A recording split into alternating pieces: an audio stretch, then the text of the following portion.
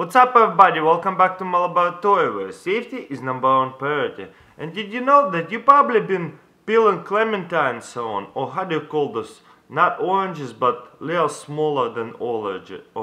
Clementines, right? Anyways, let's check this out. Don't get offended, but I think this is the best way to peel the clementines. So you got your apelsine and Russian or clementine, and what you wanna do is cut it right here, not all the way, just the peel.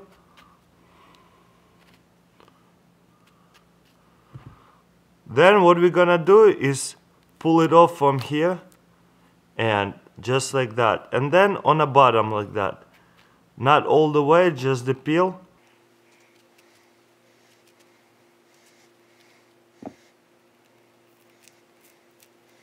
Peel the peel.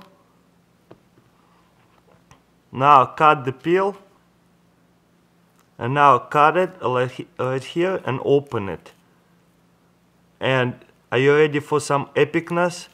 And just open this ones up just like that.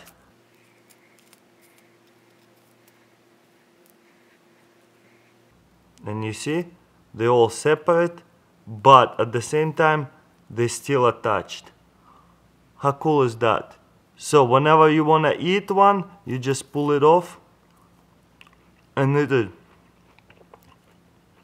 Pull it off and eat it. Boom. You can do it with your hand. Just peel it circular way like that.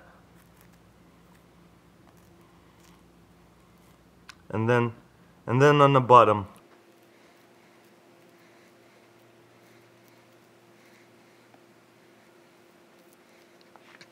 And then just stick your finger in right there and just open it up. Just like that and just open all of them up. Just like this. Boom. And look you can just pick one and eat it